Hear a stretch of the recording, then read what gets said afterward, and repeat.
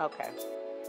You know, we are growing in the things of the Lord, and we want all of our children and youth to grow along with us. And so, parents, I ask that you will involve our children in the things that we have going on here at Burnett Avenue. Uh, oh, I was good until I did that.